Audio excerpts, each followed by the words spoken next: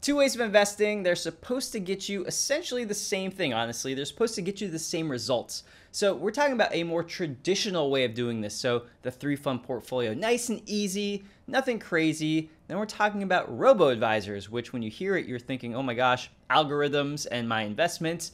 And I mean, this kind of sounds a little bit scary, but at the same time, maybe it might be a great way to go because technology's come so far lately. So we're gonna try to figure out what is the best way to go ahead and do this. Is a three fund portfolio gonna be better for you? Is a robo advisor gonna be better for you? Are there other ways of doing this? How should we look at this? So the first thing let's try to do is let's describe what a three fund portfolio is first so you kind of are on the same page here so we all know. The reason people love three fund portfolios is honestly it's simplicity and at the same time, it's simple. It's simplicity, but it's mixed with a low cost. So it's the best of both worlds. It's easy to manage. It's easy to understand, right? And they don't cost a lot. So what you do is you find three funds. I'm using ETFs in this, but you can also use index funds. Uh, I'm using Vanguard, but you could use Vanguard index funds, Vanguard ETFs. You could use different fund companies if you would like, but I'm just this is like the most popular way of doing it. So VTI is the total stock market. And so what I'm doing is there's different ways to mix your portfolio. And this is where it does get a little bit complicated for some people, which might be the thing that the robo advisor would do for you.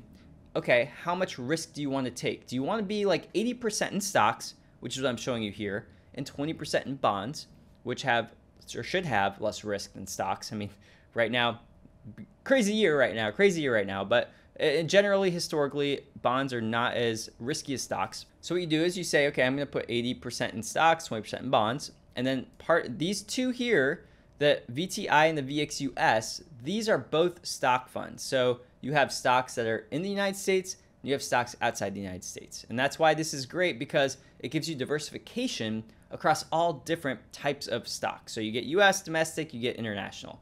Um, and that's kind of one of the great things about this. And then, of course, you get bonds. So because you get bonds, it's called like you have asset allocation, right? You have different asset classes. You have stocks and you have bonds, right?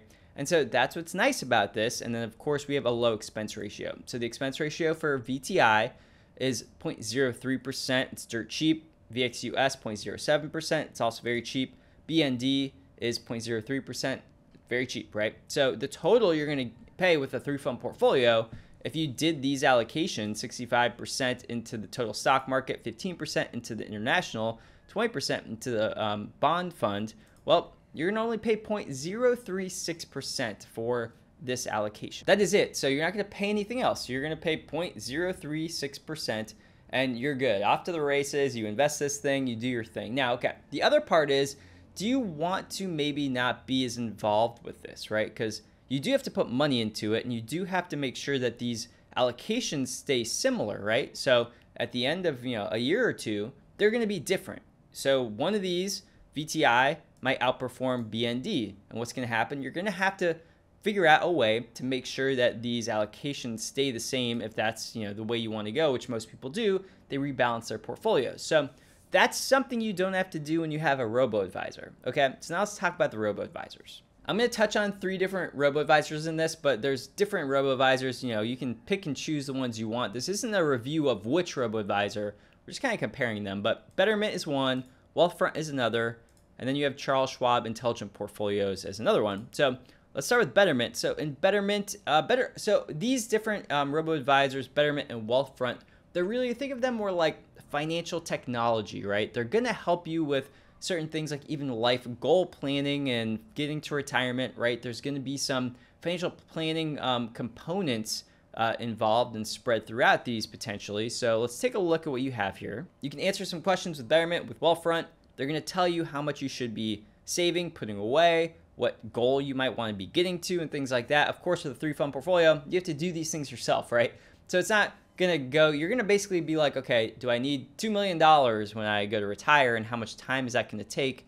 Well i have to calculate that myself if i am going to be doing it with a three fund portfolio. I go to a robo advisor throw in my stuff and i should be theoretically uh, off to the races and it should tell me what should be going on. So there should be something like this where it's saying like okay you're putting money into this you're putting how much per month if you put a thousand dollars per month and you invest it in 30 years then you could potentially get this hypothetical amount and then it's going to tell you the details and it's going to be based on your risk tolerance, right? So if you want to put more money into just stocks or less money into stocks and some bonds instead, well, it's going to also adjust for you and figure out how to get there. For Betterment specifically, so it starts like this. So it says, okay, you go ahead and you tell a little bit about yourself. You set up the account in minutes. They handle the hard stuff. So from portfolio recommendations, fractional shares, things like that. So um, fractional share investing can be good. So you'll have more money invested, so you can get fractions of the shares of ETFs um, instead of just having to have all of your money inside these three funds in the three fund portfolio. It's going to auto adjust your different holdings. So again, let's say you want to have that 65% in VTI in the total stock market. Well, Betterment, Wealthfront, uh, Charles Schwab, Intelligent Portfolios, they're going to keep that kind of similar uh, allocation. So you don't have to go ahead and find like ways to rebalance and things like that. So this so this part's probably I'd say the most important. This is going to be the one that might be the kicker for a lot of people and it's essentially just it's about taxes. So when you look at a three fund portfolio, you know that it's like what 0.03 something percent. It's very it's like nothing, right? So you pay like no money to have your money there. But in this one, while you do pay a fee, and I'll show you in a second, what you get is a taxation kind of benefit, let's say. So this will do tax loss harvesting for you, which you can try to do yourself inside of a three fund portfolio, but it's going to be kind of hard and you'll end up not having a three fund portfolio. You'll probably need a few different ETFs or index funds to add in there. So kind of defeats the purpose. And then if you want tax coordination, this is things like let's say you have um, some retirement accounts and you have some brokerage accounts, right? Well, you might want to have certain uh, pieces of your portfolio inside of your brokerage account and then other pieces inside of your tax advantage savings account, your tax advantage investment account. Why is that? Well, because the things that you might be paying more in taxes with annually, well, they could put those inside of the IRAs or the Roth IRAs or whatever it is, and they could actually save you more money in taxes. And so it ends up being a cost that you don't have to pay that you would be paying with a three fund portfolio. And so, in my opinion, that ends up being a cost that you should be considering, right? So it's not just the expense ratio. Now we're talking about expense ratio, but then taxes. And so when we add this all up at the end of the day, I mean, it probably does make sense in some instances to have a robo advisor.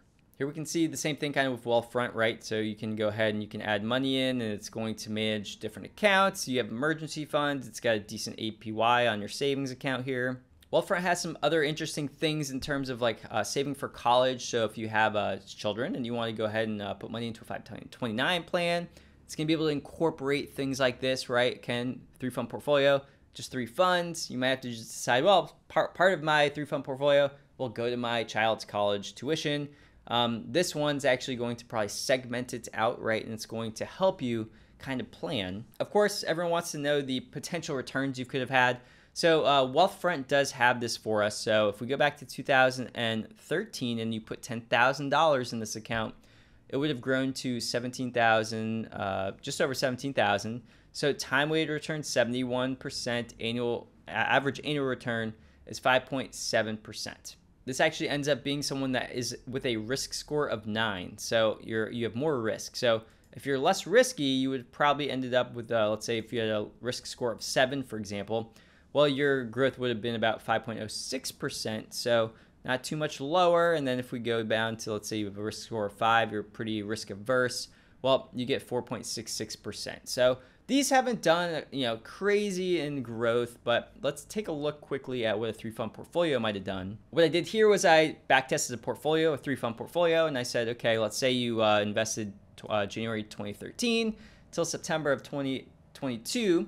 What would that have grown to? Okay, well, let's see. You got the same allocations. Remember, 65% in VTI, VXUS 15, and BND 20%. Remember, if you had invested in the risk score of a 9 with Wealthfront, you can move this up, you would have had a return of uh, 5.72%. Okay, so that's what it is. Now let's go over here and take a look at the return if you had invested in the three fund portfolio. So the compound annual growth rate is actually 8.27%. So you actually did a lot better having a three fund portfolio than going with Wealthfront. So, I mean, honestly, I don't like that return. Um, for a risk score of a nine, I would assume it was going to be higher, honestly. So uh, for whatever reason, it has not done that well. So I'm not sure why. But in terms of performance, so we know that Wealthfront is probably not as good as the three fund portfolio has historically, at least, uh, been. So okay, let's take a look at the fees because that's an important part too. So let's go back to Betterment.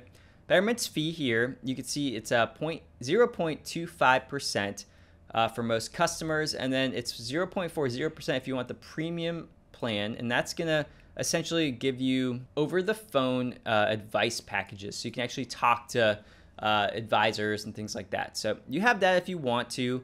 Um, but so generally speaking, it's going to be 0.25%. And on top of the 0.25%, you're actually going to end up paying, of course, expense ratios on the ETFs or the funds that you end up having in these different um, uh, robo advisors. So you're going to have to factor that into. Um, I think it's around, let's say, uh, 0.12%, and it depends, of course, what type of risk tolerance you have and things like that. So let's just add uh, another uh, 0.12% and say uh, maybe 0.37% all in to have the ability to have the software, the ability to have the financial planning things going on, them investing for you, getting um, the different taxation, things like tax loss harvesting, and the ability to put uh, different assets that might be better, more tax efficient inside of different uh, types of accounts. Okay, so um, those are things that you could potentially get with uh, the Betterment and the Wealthfront. So you're going to pay a little bit more money and you're going to get these different things, these options for you. The other one I wanted to just throw on here, just so you have it, is that uh, if you're looking at different, um, something that you just want that is going to be less expensive and you don't care about financial planning software and things like that, let's say you just want to have some tax loss harvesting, some rebalancing automatically for you then you have Charles Schwab Intelligent Portfolios. This thing actually has no fee, so Betterment Wealthfront, that uh, 0.25% that you pay in the fee, well, you're not going to get that in the Charles Schwab Intelligent Portfolios. So that's a good thing if you're interested in not paying a fee, but not really um, interested in like a really great um, planning type of uh, tool to help you figure out how much money to save, how much to put towards uh, college, and things like that. So um, that's just like, let's say, basic bare bones uh, versus these two. So in general, what do I think? Um, I just I still like a three fund portfolio if I'm just going to be able to do this myself. I think it's performed better. It's less costly. However, I know that there are people who definitely don't want to go and try to figure out how much to save for their child's uh, 529 plan. And I think that this, you know, like Wealthfront, for example, can help you with that.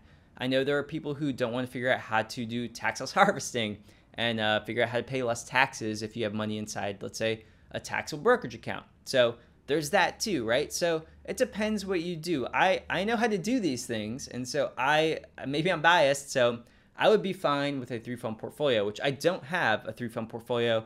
I have more advanced stuff going on for myself. Um, but in general, if I'm thinking about this for different people, you know what? I can see, depending on your personality, what you want to accomplish, what you're into, uh, either of these can be a potential option for someone. I just hope that all the things I went over at least help you figure out which one is going to be the best one for you. So I hope you like this, and uh, hopefully you did. Got a disclaimer here. Watch another video, please. I got some end screen videos coming up, and see you next time.